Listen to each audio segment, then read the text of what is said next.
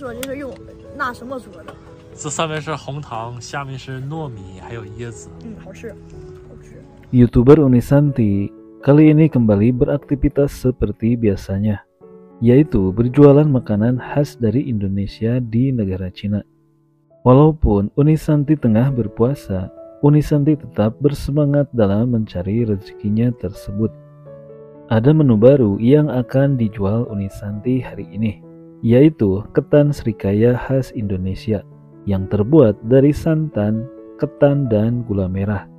Seperti biasanya, Unisanti berjualan di pinggir kota Cina dengan menggunakan truck miliknya. Bersama Poci, adik ipar yang setia menemani dan membantu Unisanti ketika berjualan. Menu jualannya hari ini, selain ketan serikaya, tentu ada ayam goreng tepung dan ketiau goreng. Dikarenakan hari ini adalah hari libur, pembeli ramai berdatangan menyerbu dagangan Unisanti.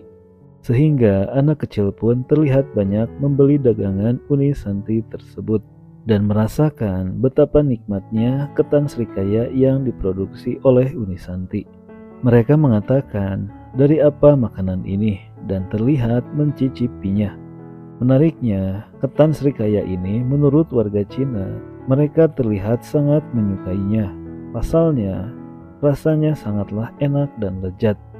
Walaupun cuacanya sangat dingin, rupanya tak menyurutkan semangat Unisanti untuk terus menjalankan misinya tersebut, mengenalkan berbagai macam makanan khas dari Indonesia ke negeri Cina. Itulah aktivitas Unisanti hari ini yang berjualan ketan serikaya yang begitu dinikmati warga Cina hingga jualannya laris manis dan habis terjual.